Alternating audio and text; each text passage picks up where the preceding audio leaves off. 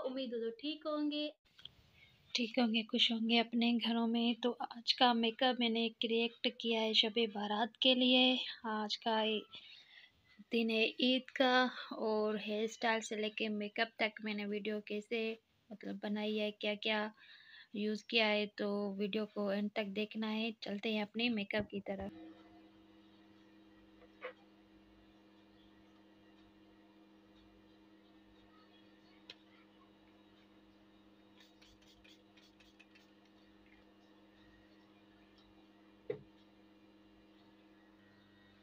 मैं पे ओरी प्राइम का प्राइमा यूज़ करूँगी। प्राइमा गर्मी आ गई है। आपके जो ओपन फ्लोर्स है ना, उनको बंद करता है, ठीक है? प्राइमा उनके लिए एडवाइस है, जिनको पसीना ज़्यादा आता है या फिर उनका फेस अच्छा नहीं बैठता। पूरे फेस पे नहीं लगाना जस्ट जहाँ पे आपके रिंकल्स पड़ते हैं, वहाँ तक। खास जगह ये और यहाँ पे, ठीक है? पूरे चेहरे पे अप्लाई नहीं करना और ये ओरी फ्रेम का ओरी फ्रेम का प्राइम आए, ठीक है?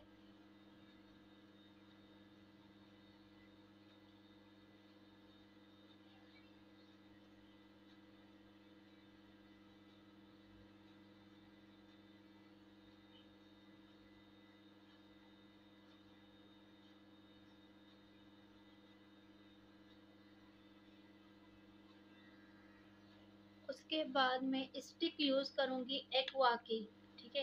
एक्वा एक्वा और शेड है ये, नज़र आ रहा है एक मिनट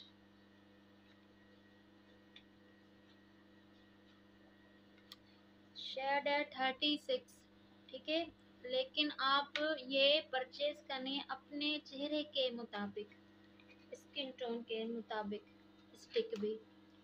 स्टिक लगाना लाजमी है। नहीं है तो आप उसकी जगह पे कंसीलर भी यूज़ कर सकते हो, लेकिन स्टिक से आपका बेस अच्छा बैठेगा।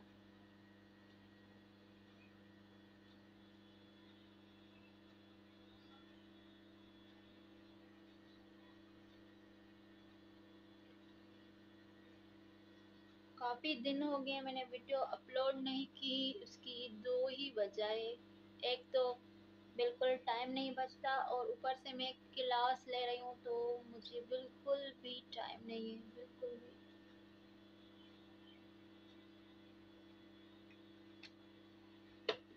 मैं पंप्स उस पर मैं रोज़ वाटर की स्प्रे कर रही हूँ।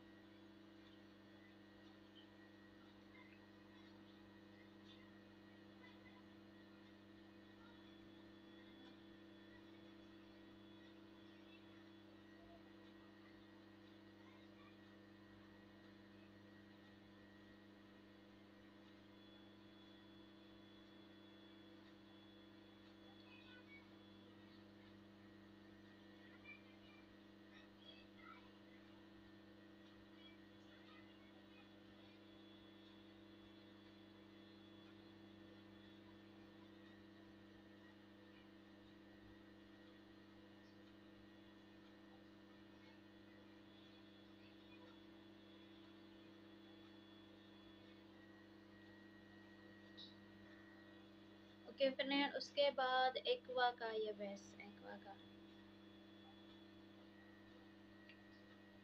जी एफ़ वन लिखेला वन है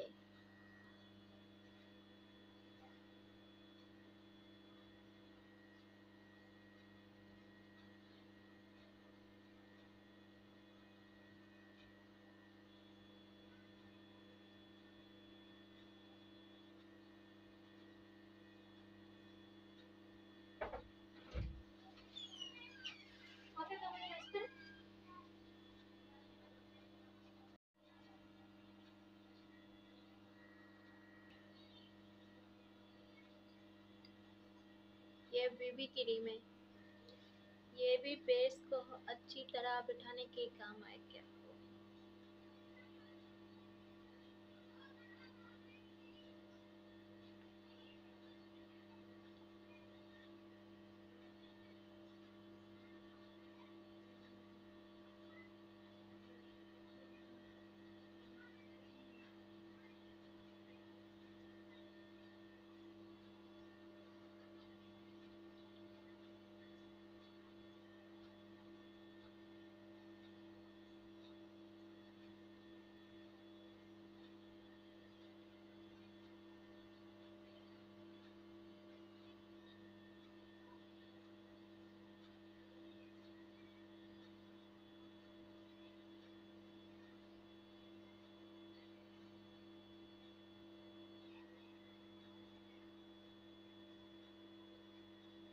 ये अपने लिप्स पे भी अप्लाई करें। लिपस्टिक आपकी अच्छी बैठेगी। मेरा फेस अच्छी तरह से सेट हो गया है। अब आऊँगी मैं आइज़ मेकअप पे।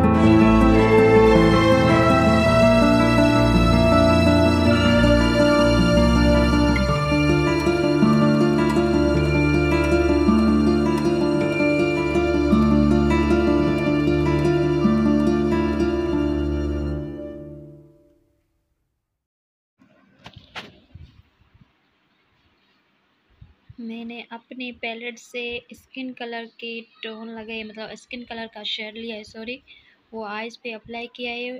उसको तब तक अप्लाई करना है जब तक अच्छी तरह से वो मेट या सेट ना हो जाए बिल्कुल, जिसमें लकीरें ना पड़ो। जैसे आँख में मेकअप ऐसे सेट करो, उनमें लकीरें ना आए। तो अच्छी तरह से मेट हो जाए सेट हो जाए तो ये स्किन कलर का शेड था जो मैंने दिखाया।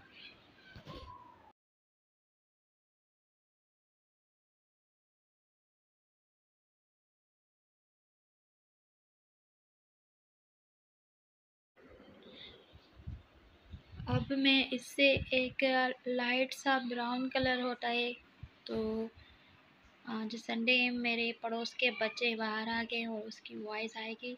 एक थोड़ा सा रेडिश कलर उठाया है।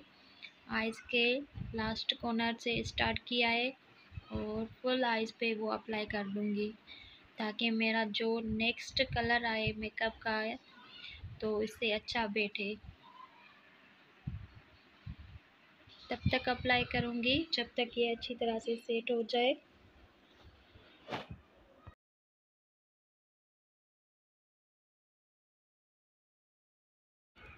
उसके बाद इससे कलर में जामनी कलर नहीं होता, जिसको जामनी बोलते हैं, वो थोड़ा शेड लूँगी। और वाइट टेप सॉल्यूशन मैंने लगा दी थी, ताकि मेरा आइज़ मेकअप का लुक अच्छा बैठेगा अच्छा आएगा। क्योंकि मुझे कभी कभार अंदाज़ा नहीं होता तो आइज़ कितनी बड़ी रखूँ, छोटी रखूँ तो आप ये भी टेप अपनी मर्ज़ी से लगाएँ। आइज़ की मतलब आइज़ पे डिपेंड करता है, बड़ा दिखाना है, छोटा दिखाना है। तो इसलिए ये मैंने जामनी शेड लगाया। उसके बाद मेरा सूट है लाइट्स, बिल्कुल पेरोट तो वो मैंने लिया है। दूसरा ब्रश मैंने उठाया है।